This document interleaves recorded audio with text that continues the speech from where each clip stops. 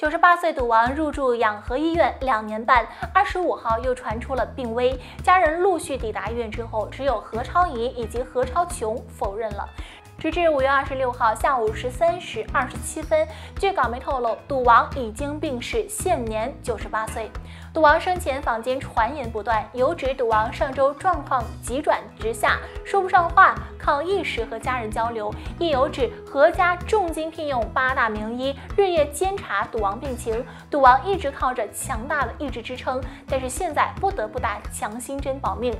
十一年间，赌王在医院的医疗费是高达十五亿港币，仅年初病危啊就花费了三亿港元。昨晚有消息指出，四太一家月初的时候从国外回港接受隔离的合油企业，曾经申请探望赌王，至上周隔离期满之后，二太、三太、四太均在床前陪伴。但从二十五号下午至二十六号的中午，只有三太一家彻夜留守医院，四房成员并未露面。二十六号中午，二房儿子何猷龙现身探望赌王。何猷龙穿上了卫衣，戴着口罩，下车之后快步的走入到医院，并未接受港媒的采访。据消息透露啊，何家会在下午开记者会，公开赌王的身体状况。原来啊，养和医院是有秘密通道，何猷龙走员工通道被曝光之后，也证实了奇吉医院为赌王打气的说法。赌王十一年前在四太家里边跌倒，导致头部受伤，一度危殆，后及时接受手术，休养半年才康复出院。